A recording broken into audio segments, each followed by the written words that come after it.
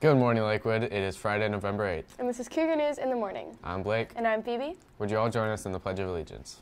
I pledge allegiance. The pledge, of allegiance.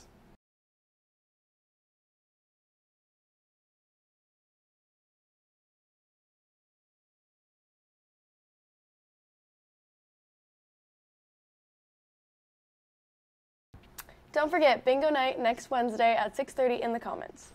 And we have our Veterans Day Assembly after second period today. Make sure to be respectful. Now let's go to sports with Mason and Jared. Hey, it's Mason, Hey, it's Jared. and this is your Cougar Sports Update. There will be meetings during both lunches on Tuesday, November 12th for girls basketball and wrestling. The basketball meeting will take place in the auxiliary gym, while wrestling meetings will take place in Coach O'Hara's Fab Lab.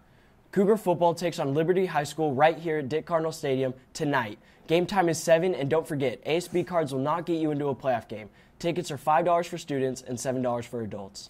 Football tailgate at 5:30 outside of Ms. Zachary's room. Food will be provided. And that's it for sports. Go Cougs.